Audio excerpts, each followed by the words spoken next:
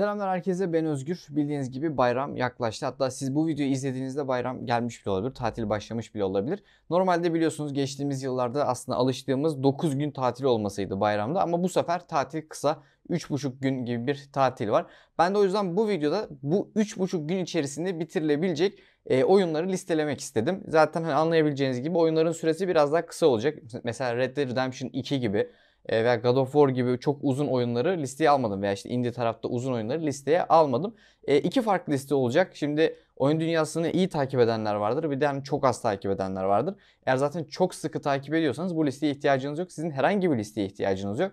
İstediğiniz oyunları hemen bulup yani takip ettiğiniz için e, oynayabiliyorsunuzdur diye düşünüyorum. Yine de oyun tavsiyesi isterseniz çok sıkı takip ettiğiniz halde yorumlar kısmında paylaşın. Sizlere özel oyun önerileri yapabilirim. Şimdi bu videoda iki farklı liste olacak. Listelerden birisi ben oyun dünyasını takip ediyorum diyenler için biraz böyle gözden kaçmış olabilecek oyunları e, sizler için listeledim. Diğer listede de biraz daha popüler oyunları koymaya özen gösterdim. Hani ben oyun dünyasını takip ediyorum, oyun oynamayı seviyorum ama öyle çok da büyük bir takipçisi değilim. Bir şey önüme düşerse anca oynuyorum diyenler için bir liste hazırladım. Yani oyunların 10 tanesi e, ben çok sıkı takip etmiyorum diyenler için 10 tanesi de ben iyi takip ediyorum ama gözden kaçırmış olabileceğim oyunlar vardır diyenler için. İsterseniz hemen videomuza geçelim. İlk listemiz oyun dünyasını iyi takip edenler için yani gözden kaçırmış olabileceğiniz oyunları koydum. İsterseniz hemen birinci oyunumuzla listeye başlayalım. 1. Vampire Survivors. Geçtiğimiz yılın en iyi bağımsız oyunlarından biri olan Vampire Survivors'ı sadece boşta kaldığınız zamanlarda değil, misafirliğe gittiğinizde de mobil cihazınızdan oynayabilirsiniz. Bağımlılık yaratan oynanışıyla kesinlikle mümkün olan bir platformda deneyimlenmesi gerekiyor. 2. Tiny Tina Wonderlands. Geçtiğimiz yıl yaz aylarında çıkış yapan Borderlands evreninde geçen Tiny Tina's Wonderlands ne yazık ki çok konuşulmadı. Ancak oyun gerçekten de oynanış anlamında çok keyifli bir deneyim sunuyor. Özellikle FRP tarzında bir temaya sahip olması benim çok hoşuma gitti. Bu temanın Borderlands evreniyle birleşmesi de eğlenceyi artırmış. 3. Ghost Runner. Cyberpunk bir evrende geçen Ghost Runner temposu yüksek oyun sevenler için birebir. Ayrıca bu yüksek tempo kaliteli şarkılarla da birleştiği için inanılmaz keyifli diyebilirim. Eğer evren sizi çekiyorsa düşünmeden girin ve ne kadar havalı hissedeceğinizi görün diyorum sadece. 4. Unmetal. Unmetal tek başına piksel grafikleri olan, komik diyalogları olan keyifli bir oyun. Ancak Metal Gear serisini oynadıysanız oyunun keyfi çarpı 2 oluyor. Çünkü oyun Metal Gear Solid'i T'yi alıyor. Ancak dediğim gibi tek başına da gayet keyifli bir oyun. 5. Katana Zero. Katana Zero kendinizi kısmen John Wick gibi hissettirecek bir oyun. Yine yüksek temposu ve kaliteli şarkılarıyla öne çıkıyor. Ancak bu sefer bir de kaliteli hikaye mevcut. Fiyatını da göz önünde bulundurursak kaçırmayın. 6. Outer Wilds.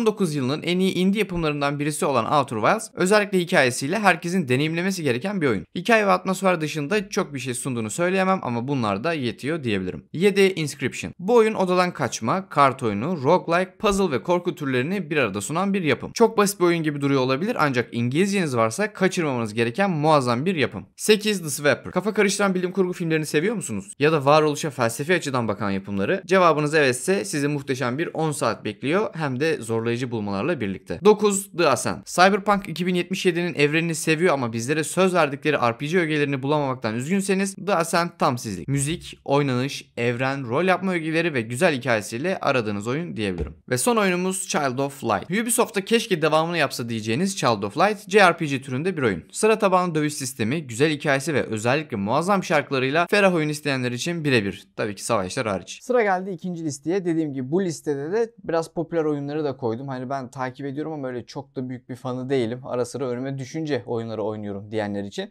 İsterseniz hemen bu 10 oyunumuza da bakalım. İlk oyunumuz Mafia 1 Remake. Oyun dünyasının en popüler serilerinden biri olan Mafia'nın ilk oyunu geçtiğimiz yıllarda remake sürümüne kavuşmuştu. Oyunun kendisi zaten çok iyiydi ancak remake sürümüyle birlikte teknik anlamda da günümüzün kalitesini yakalamış bir oyun. Godfather tarzı mafya dramalarını seviyorsanız kaçırmayın. 2. Control. 2020 yılında çıkış yapan Remedy'nin geliştirdiği Control, enteresan evreni ve hikayesiyle kesinlikle deneyimlenmesi gereken bir yapım. Devam oyununu muhtemelen göreceğimiz Control özellikle aksiyon bölümleriyle de güzel bir deneyim sunuyor. 3. Resident Evil Village. Resident Evil serisinin 8. ve son oyunu olan Resident Evil Village özellikle son günlerde konuşulan Resident Evil 4 ile birçok açıdan benzerlik taşıyor. Eğer Resident Evil 4 şu anda pahalı derseniz Village ile de benzer bir deneyimi daha uygun bir fiyata yaşayabilirsiniz. Fırsat bulduğunuzda tüm seri oynamanızı ayrıca tavsiye ederim. Hikaye konusunda da endişelenmeyin. Oyunun girişinde bilmeniz gerekenler özet geçiliyor. 4. Undertale. 2015 yılında Witcher 3 ve Fallout 4 gibi oyunlara rağmen kendinden bahsettirmeyi başaran, tüm indilerin yanından sıyrılan, piksel grafikli, müthiş hikayeli, keyifli oynanışlı Undertale'i mutlaka oynayın. 5. Marvel's Guardians of the Galaxy. 2021 yılında çıkış yapan ve kimsenin beklentisi olmayan Marvel's Guardians of the Galaxy temposu, keyifli oynanışı ve genel olarak eğlenceli bir deneyim sunmasıyla öne çıkan bir oyun. Beklentinin düşük olması sebebiyle çok fazla konuşulmasa da rahat oyun isteyenler için bakılması gereken bir oyun. 6. Alan Wake. Hikaye ve atmosferiyle dikkat çeken Alan Wake özellikle korku oyunu sevenler için müthiş bir deneyim sunuyor. Yakında ikinci oyunda çıkış yapacak bu yüzden önden bir hazırlık güzel olur. 7. A Way Out. Tatilde tek başıma olmayacağım yanımda biri de olacak diyenler için iki kişinin aynı anda split screen ile oynayabildiği keyifli bir deneyim ve hikaye sunan A Way Out'u kaçırmayın. 8. Sifu. Geçtiğimiz yılın en iyi bağımsız oyunlarından biri olan Sifu ilerleyişteki farklı yapısı ve gerçekçi dövüş mekaniği ile dikkat çeken bir yapım. 9. Marvel's Midnight Suns. Bu sefer direkt olarak oynanışa odaklanmış bir Marvel oyunu. XCOM serisinin geliştiricilerinden gelen Marvel's Midnight Suns temelde bir kart oyunu ve kesinlikle inanılmaz keyifli bir deneyim sunuyor. Ve son oyunumuz Hi-Fi Rush. Geçtiğimiz aylarda habersiz bir şekilde anlık olarak çıkış yapan Hi-Fi Rush müzikleri ve keyifli oynanışıyla size eğlenceli bir deneyim sunuyor. Ritim tabanlı olması da oyunu çok güzel bir hava katmış. Evet bu videoda sizler için 20 farklı oyun istedim. Sizlerin bir önerisi var mı? Diğer